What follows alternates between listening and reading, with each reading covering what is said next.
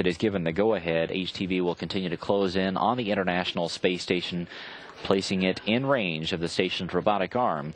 That will be used to grapple onto the cargo craft, turn it around. It'll then be steered around toward the uh, bottom of the Harmony node, which you see there. There on the far right hand side is pressurized mating adapter number two. That is where the space shuttle docks with. HTV itself will go on the bottom side of Harmony.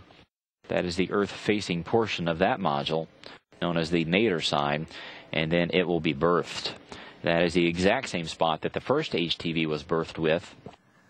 What is a little bit different about this flight is that HTV is going to be relocated to the top portion of the Harmony node coming up on February the 18th. That will clear the way for STS-133 and Space Shuttle Discovery to arrive during its flight. Live footage from Tanegashima Launch Pad number 2, where the HTV-2 Kounotori 2 will be launched at 2.30 Japan Standard Time today.